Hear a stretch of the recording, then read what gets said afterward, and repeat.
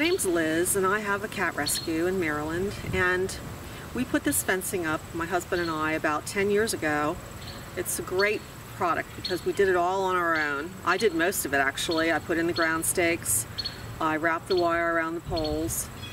The husband assisted me in doing the corners and doing the gates, but it's been wonderful because it keeps foxes out, any other predators, keeps my cats in, so when I wake up in the morning, I know where they are and I don't have to worry about that something happened to them at night.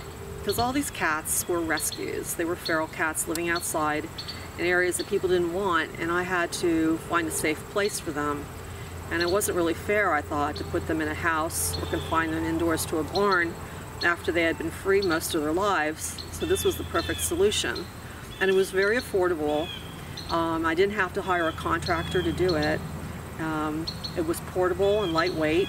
It blends in great with the scenery. You would never know that it's here.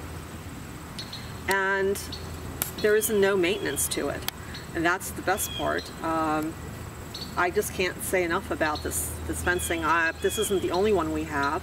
We have another one uh, actually attached to our house so they can, cats can come in and out of our basement and that works well.